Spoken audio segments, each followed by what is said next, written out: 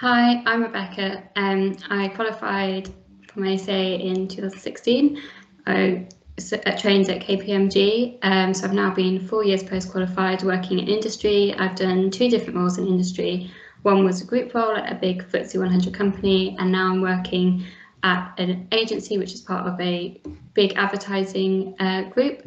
So I've moved from group to sort of divisional role, um, and hopefully I can give you a few insights about my journey and um, a few things that I learned along the way.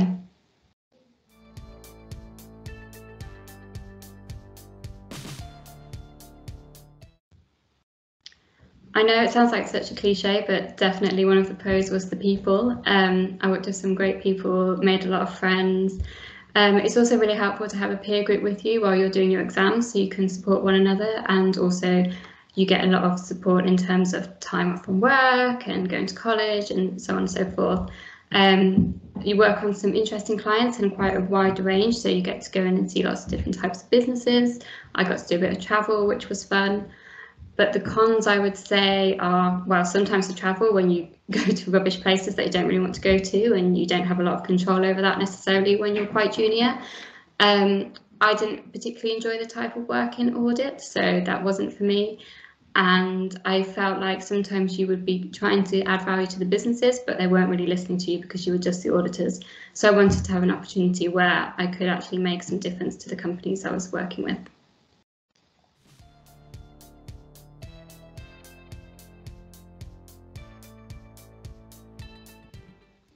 I knew that I didn't want to be in audit um, for the whole of my career, so I felt like there kind of wasn't a lot of point in staying there if I didn't want to make partner. Um, I knew that for me, I would be more suited to a role in industry, working with, you know, the same team, with the same business, being able to build a reputation for myself in a company um, and progress in that way. So it was quite an easy decision for me actually to decide to to leave audit once I'd qualified. Um, and I think it was the right thing to do because I really enjoyed my roles in industry so far.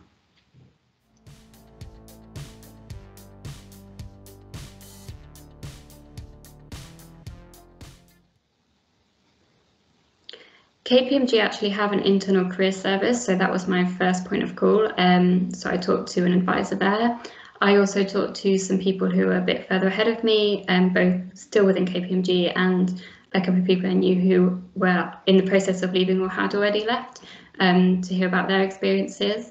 Um, I also spoke to a couple of recruiters, so in particular Goodman Masson, and they put on an ACA event which I attended with quite a few of my peers, um, just discussing amongst my peer group as well the different things that people were planning on doing or thinking about long term for their careers was also really helpful.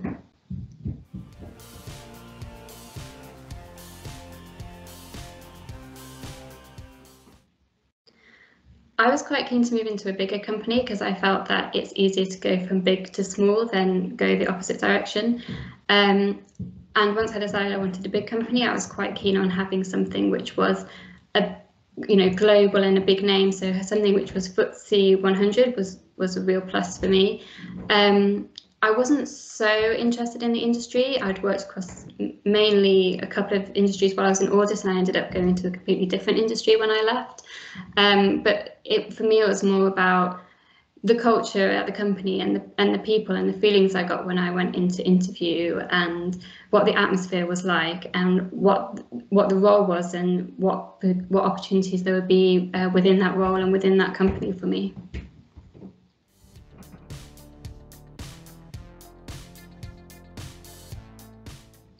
I used an agency for my first move, and it was actually Goodman Masson. Um, for me, that was like the easiest way because they kind of take the legwork out of it. They they come to you with roles, um, and then they're the middleman. So when you're still working full time, it does make it a lot easier.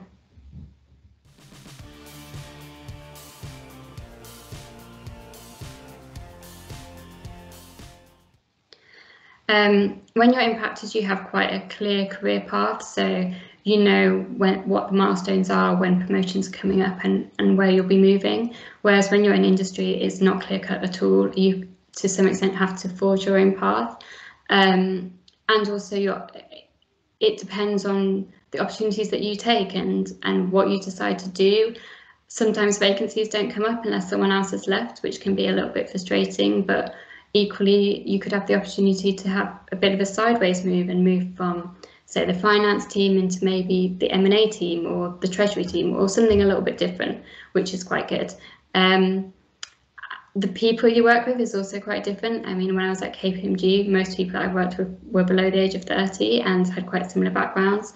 Whereas in industry, it's a wide range of people with very different backgrounds, very different age ranges.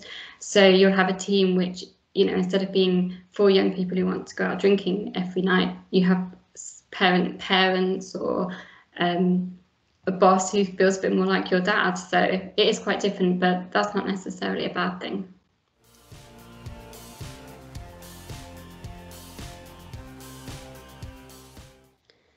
in order to build your brand, um, I found it was good to get try and get involved in things. So whether it was like a project which wasn't in your sort of day-to-day role, or helping out someone who's in a different department, maybe.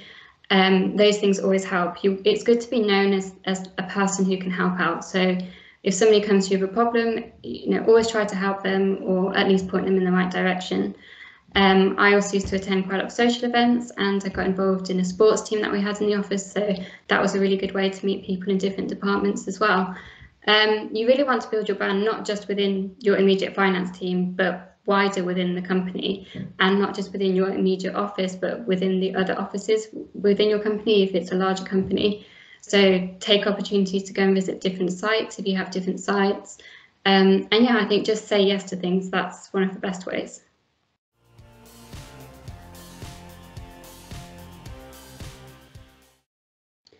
I'm currently in an FP&A role, but I have been on a bit of a journey since I left practice.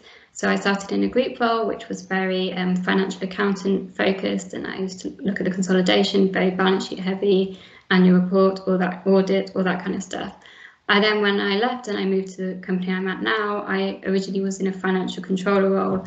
So that's sort of the day-to-day -day accounting, your month-end close, your stats, um, and then I've done a bit of a sideways move into the FP&A team. So now I'm focused on forward-looking, the budgets, um, the forecasts, analysis of the P&L.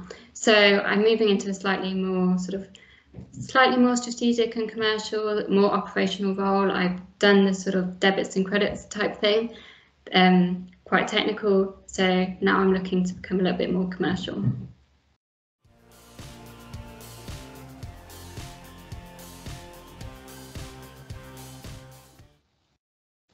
I think it depends what your longer term aspirations are and where you want to end up.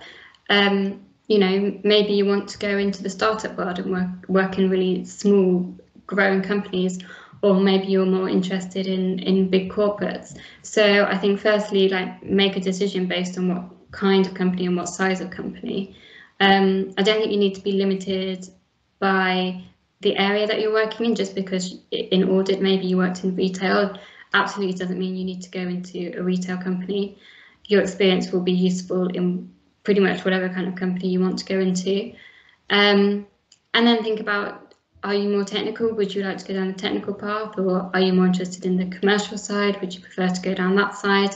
Just because you choose one now doesn't mean that's where you've got to stay forever. But, you know, don't don't get yourself stuck in something that you're not going to enjoy if that's not what you want to do.